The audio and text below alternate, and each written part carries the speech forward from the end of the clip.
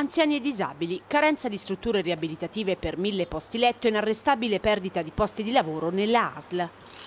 La CGL ha partecipato ad un'audizione dinanzi al Comitato ristretto dei sindaci dell'ASL della provincia dell'Aquila, composto dal sindaco dell'Aquila Pierluigi Biondi, da quello di Avezzano De Angelis, da quello di Sulmona Anna Maria Casini, dal vice sindaco di Barisciano Giuseppe Calvisi e con la partecipazione della direzione della ASL, nel corso del quale si è discusso in merito alla complessa situazione in cui versano i servizi sanitari e socio-assistenziali della provincia e alla grave carenza di personale dell'ASL numero 1 di Avezzano Sulmona l'Aquila, con tutte le conseguenze che ne derivano. Il riferimento ai posti letto accreditati per l'assistenza residenziale e semiresidenziale per gli anziani disabili nella provincia dell'Aquila ne risultano accreditati circa il 12% del totale regionale. Infatti sono stati attivati 60 posti letto su un totale regionale di 525. Tutto ciò nonostante un fabbisogno carante nella ASL complessivo di circa 1000 posti letto, riferito al setting anziani non autosufficienti, setting disabilità e riabilitazione, setting dipendenze patologiche.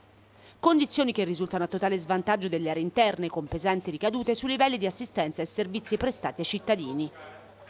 Si aggiunga a tutto ciò una grave carenza di personale dell'ASL che si ripercuote sulla qualità del lavoro e sulla qualità dei servizi. Mancano ad oggi 695 unità lavorative contrattualizzate con contratto di lavoro subordinato a tempo indeterminato a fronte di una dotazione organica di 4.053 unità lavorative, carenza parzialmente attenuata con gli oltre 400 lavoratori assunti con tipologie di lavoro precario.